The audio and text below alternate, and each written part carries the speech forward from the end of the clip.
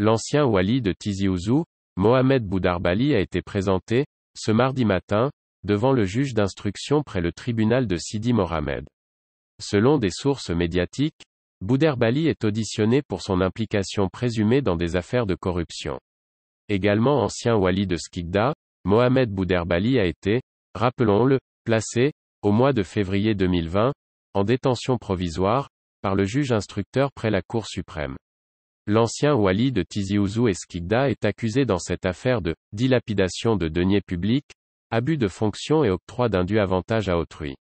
Impliqué dans l'affaire de pillage de fonciers touristiques dans la wilaya de Skikda, Mohamed Bouderbali a été condamné, au mois de mars dernier, à 7 ans de prison ferme, assorti d'une amende de 2 millions de dinars.